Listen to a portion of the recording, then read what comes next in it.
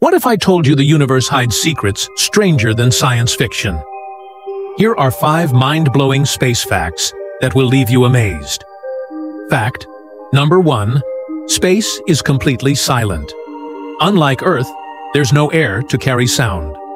So even if two astronauts were right next to each other without radios, they couldn't hear a thing. Fact number two, the sun is so huge that over one million Earths could fit inside it. And yet, it's just an average star in our galaxy.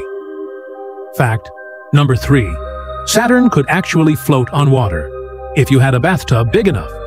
That's because it's mostly made of gas and is less dense than water. Fact number four, a day on Venus is longer than a year on Venus.